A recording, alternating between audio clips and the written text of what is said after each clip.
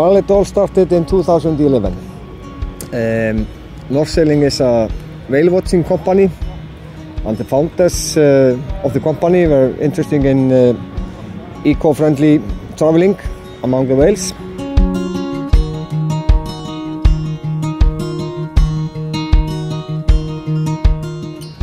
We have been working with electrification of uh, transport for many years. Uh, we bought the first electric car in 88 and paved the road, so to say, for, for electrical vehicles. Um, to do this in the maritime sector has always been a big, big wish for us.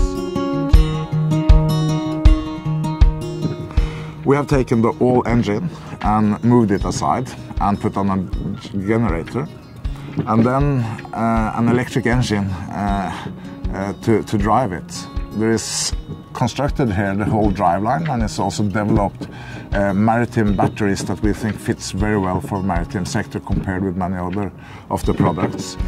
Add this all together in, in, in, uh, in one uh, system that is get the best efficiency out of everything and to add on it is the sails so you can use it uh, to recharge the, the, batteries.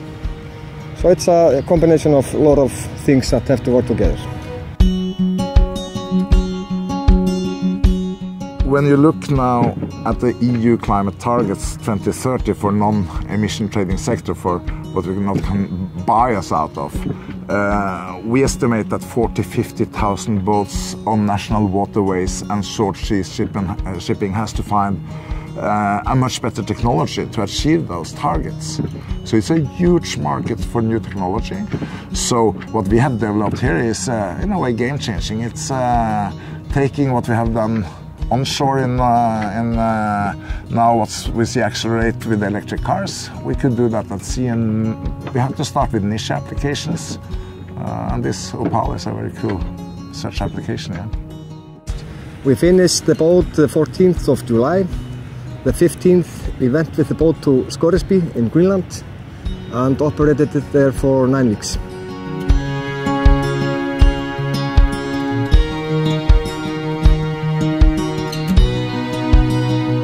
The RENSEA project is a great example of Nordic cooperation between industry participants, Nordic clean tech and also the Nordic added value that Nordic innovation is looking for.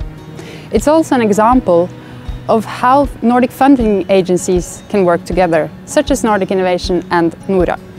Nordic Innovation look for projects that are innovative, have a clear Nordic added value and have participants from three Nordic countries. The RENSEA clearly ticks all the boxes and more. The Nordic Innovation Funding here has been very important, both because it's enabled us to put together a part partnership with different uh, important partners, Bellona, North Sailing, Caterpillar, Naust Marine, Clean Marine. So, so this has been very good.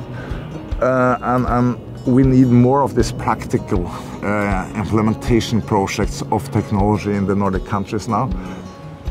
For the future, it will be magnificent.